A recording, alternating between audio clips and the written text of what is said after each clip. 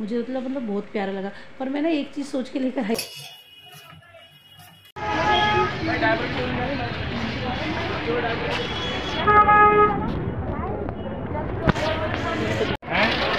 आगे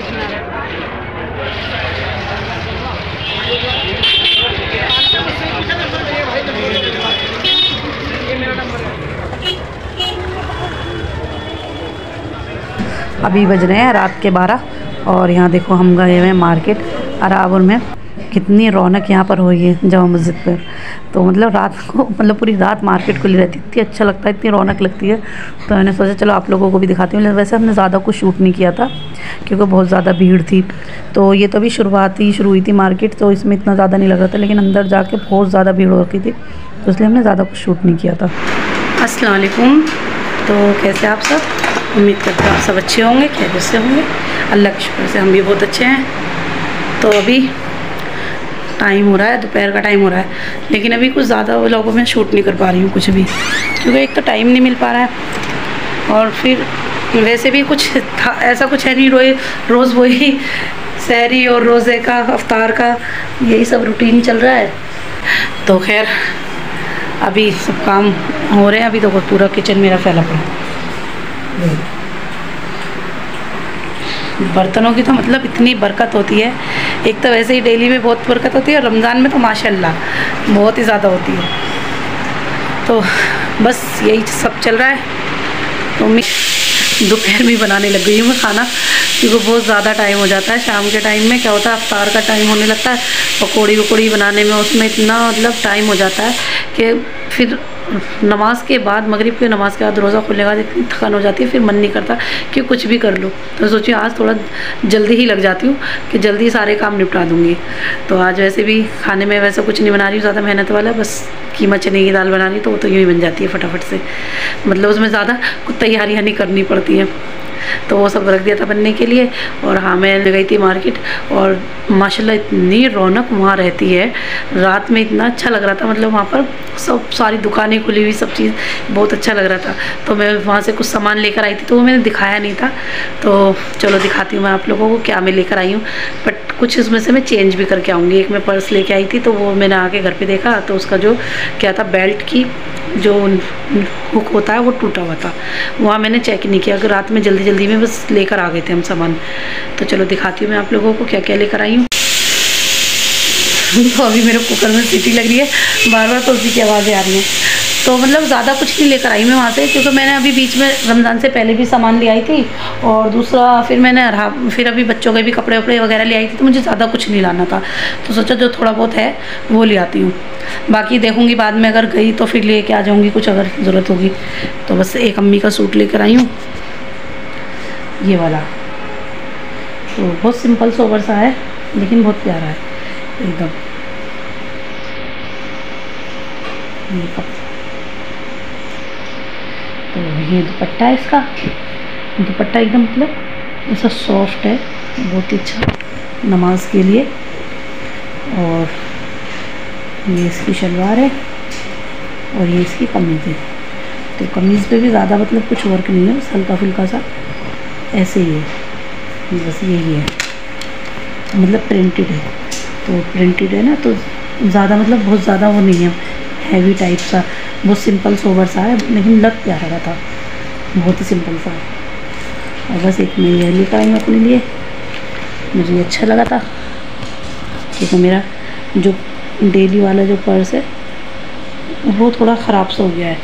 तो मुझे ये मुझे ये अच्छा लगा, क्योंकि इसमें एक तो ये मोबाइल रखने का भी है, और प्लस ये पॉकेट भी है साइड वाली, और साथ में ये बेल्ट भी दी हुई है। तो ये तो मुझे इतना क्यूट सा, प्यारा सा लगा तो इसलिए मैं ये भी ले आई। और हाँ एक मैं लेकर आई थी ये वाला। तो चलो, इसको पहले खोलती हूँ, बाद में दिखाती हूँ। मुझे मतलब मतलब बहुत प्यारा लगा। पर मैं ना एक चीज़ सोच के लेकर आई थी। पन्नी में पैक ऐसे ही था।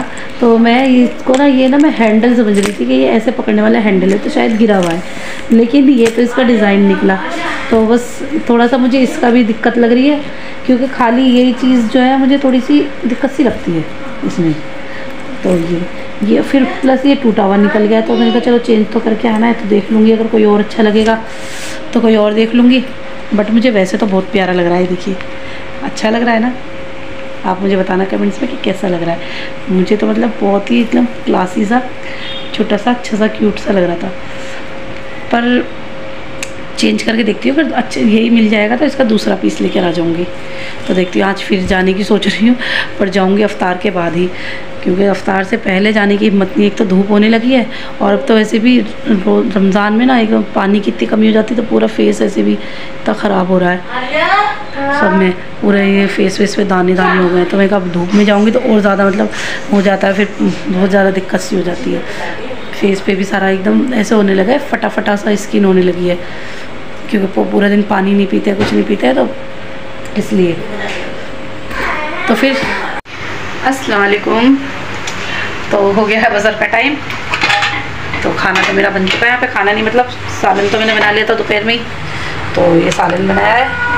ये बना लिया यहाँ पे कीमा चने की दाल। हम्म, कैमरा इतना हिलता है बहुत ज़्यादा।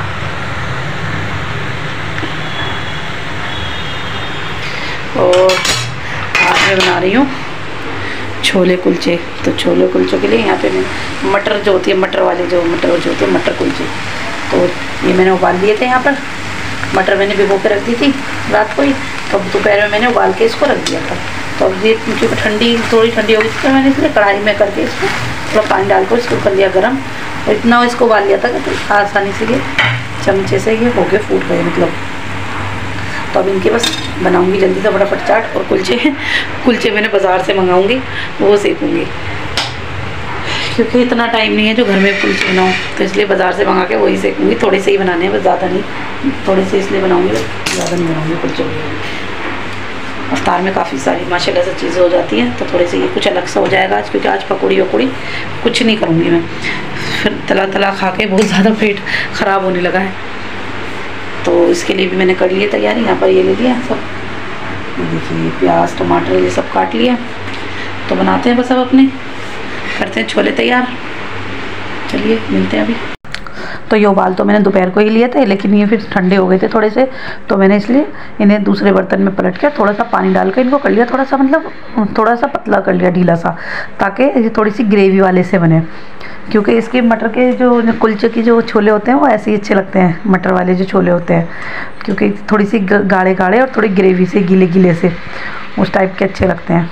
तो शुरू करते हैं बनाना। तो यहाँ मैंने कर लिए थे एक बर्तन में, क्योंकि अच्छे से, खूब अच्छे से गर्म भी हो चुके थे। तो अब इसमें मैंने प्याज डाली थी, एक प्याज ली थी, लंबी करके काट रखी थी, वो डाल दी थी, हरी मिर्ची डाल दी थी और एक टमाटर डाला था छोटा सा। तो उसको मैंने छोटा छोटा करके काट लिया था। और नमक साथ साथ में लाल मिर्ची टेस्ट के हिसाब से। और मैंने इसमें डाला था गरम मसाला और आधा आधा चम्मच चाट मसाला। और काली मिर्च का पाउडर डाल पाउडर डाला था आधा चम्मच। और वो डाली थी मैंने इसमें चटनी डाली थी, हरी मिर्च वाली जो चटनी होती है।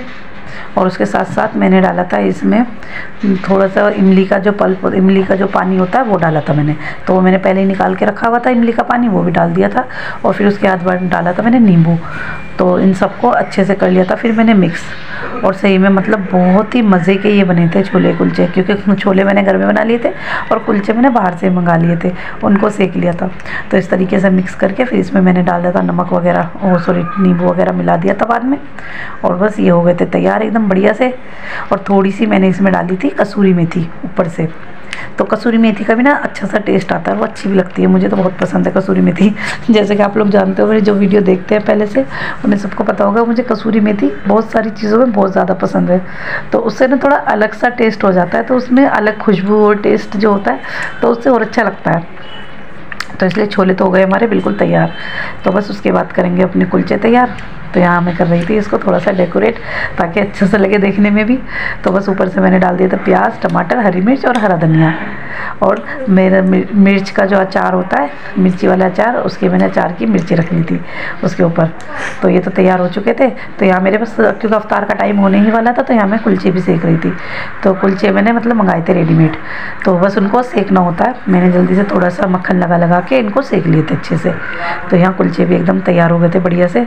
तो ज़्यादा मतलब सेकने नहीं होता, बहुत ही हल्के उसमें इसको ऐसे मतलब थोड़ा सा ही लगाओ, घी, मक्खन कुछ भी लगा के इसको बहुत ही हल्का सा सेकना है मतलब बहुत हल्के आँच पे, क्योंकि एकदम क्या होता है, जल जाते मेरे भी थोड़ा सा ऐसा होता मैंने तेज़ पे रख दिया था तो थोड़ा सा क्या होता वो थोड़ा सा जलने ऐसा हो गया था, चिपका चिपका से, जैसे जल जाता है, इस तरीके का हो गया था। बट एक दो ऐसे हुए थे, फिर बाद में बहुत अच्छे से सीख गए थे। तो हो गए थे यहाँ हमारे कुलचे भी तैयार छोले कुलचे और बहुत ही मतलब देखने में भी अच्छे लग रहे थे और खाने में भी बहुत मज़े के लगे थे। तो आप लोग भी ज़रूर ट्राई करना क्योंकि इतना टाइम नहीं था जो मैं कुलचे बनाती हूँ आपको वीडियो अच्छी लगती होंगी। तो जो वीडियो अच्छी लगती है तो प्लीज़ वीडियो को लाइक शेयर सब्सक्राइब ज़रूर करेंगे